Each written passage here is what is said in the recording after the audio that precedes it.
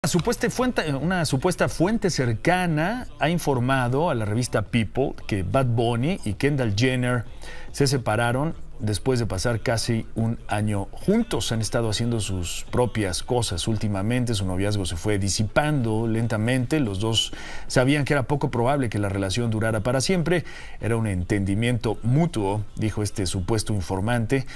Después, Kendall fue vista disfrutando de un paseo allá en Aspen, en Colorado, junto a sus amigos Justin y Halle, eh, Bieber, pero pues de Bad Bunny, nada.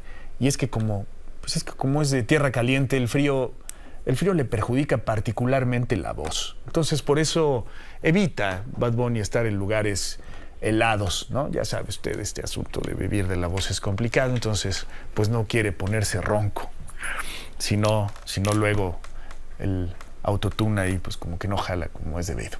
En fin, vamos a la pausa comercial, regresamos con más información del espectáculo.